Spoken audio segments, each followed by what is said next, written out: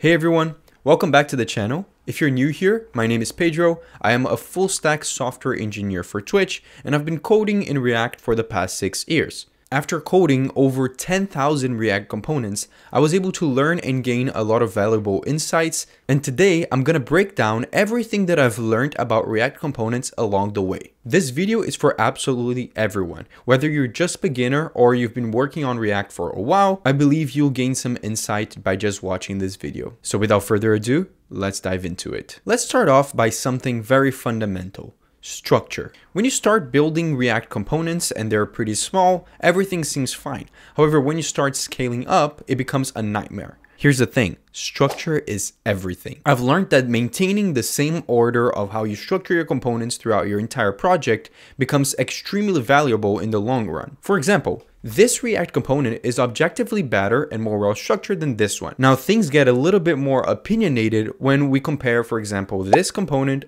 compared to this one. The reason for it is because there's no concrete answer on how you should structure your components. So whether or not you want to put the definition of your states before your custom hooks, it really doesn't matter. The only thing that matters in this case is whether or not you're going to maintain the same pattern throughout your entire project. Throughout the years that I've been working on React, I've had to deal with React components that are massive, way bigger than they are supposed to be. And the only reason in which I was able to actually code and debug in those huge components was because there was some sort of structure and clear order in which things were defined and placed so that I don't need to keep looking for where in my component the things are. For reference, I personally like to structure my components like this. First, I define my states. Then I define any possible refs that I'm to have.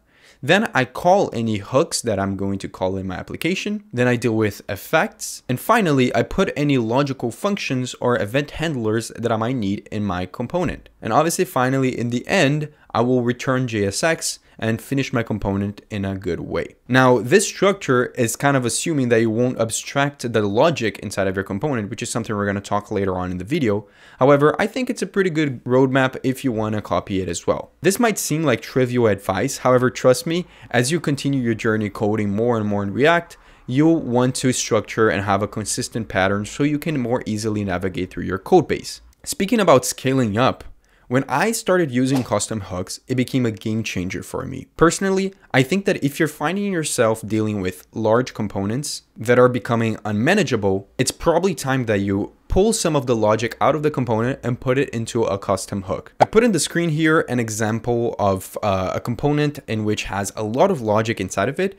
Um, it's a component that does a lot of things. It fetches data. It deals with some sort of state. It does with a lot of things. It's a very standard component that you might see in a React app. Now imagine instead of having this massive component that mixes up the logic part of it and the UI part of it, why not just separate the logic from the UI? Do, by doing this, you'll be able to dumb down your components and make it easier for not only you debug, find information, but also to test both the logic of your app and the UI of your React component. So whenever I build a React component, I will always make a custom hook that will encapsulate all of the logic that is going to exist inside of that component, as long as obviously the component requires logic. And then what I do is I always know that if I'm looking to find something related to the UI of the component, I can just go to the JSX or TSX file for that specific component. But if I want to deal with something related to logic, I'll just go to the corresponding hook that I created for it.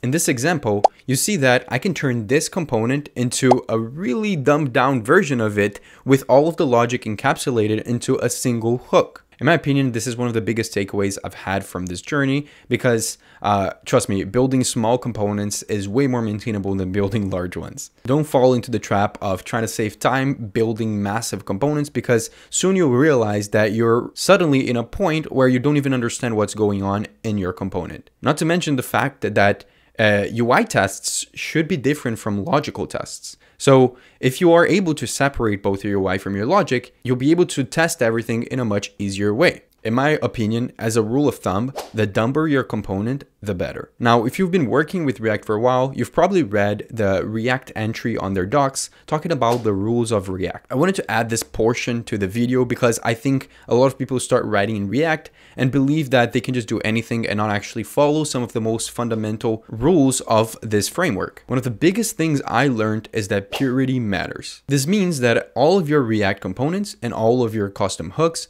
needs to be pure, meaning that in your render function, there should be no side effects. So if you end up choosing to mutate data or interact directly with the DOM while your application is rendering, you're really setting yourself up for bugs down the line. My recommendation is always follow the rules of React and also the custom hook rules that React establishes so that you're actually utilizing the library as intended. Now that I mentioned the, the rules of custom hooks, let's get into it because these ones are non-negotiable. First of all, never call hooks inside of loops, conditions, or nested functions. Also, and I see a lot of people making this mistake, Always call your hooks at the top level of your component. If you break this rule, this means that React rendering will become completely unpredictable, meaning that you'll have a really hard time debugging your application. Finally, I want to talk about using a server state manager. Now, I've personally made tutorials in the past for all types of state managers, ranging from Redux to Zustand and even built-in solutions like the Context API. And one of the questions that I've probably been asked the most is which of them is better. However, here's the thing. There isn't a perfect solution. In the six years that I've been writing React code, I've seen the creation of so many different state managers, it's crazy.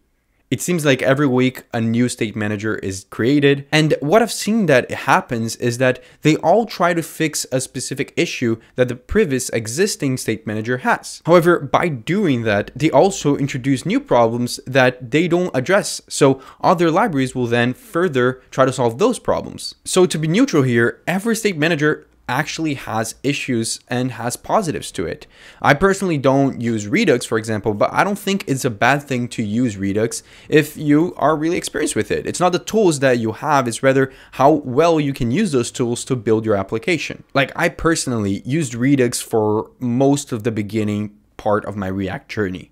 After a while, I started using the Context API uh, because Redux was huge when I started, but the thing is, uh, I started to find it really annoying to use and I switched it up. Then I found better solutions. I started using Zustand. Recently, I've been using Jotai. So don't get too attached to the tool, but rather to the concepts that you're introducing to your applications. However, the takeaway I wanted to mention here, it's not related to managing your local state, but rather whenever you have components, you should introduce a manager for the server state of your data. This means that I believe that every React component that is dealing with data should be using tools like React Query, RTK Query, or Apollo client. When I personally started using React Query instead of just fetching data from inside the use effect, my whole React game changed. These tools are crucial for you to properly deal with fetching, caching, synchronizing, and updating your server data. There's so many ways to improve the performance of your React application,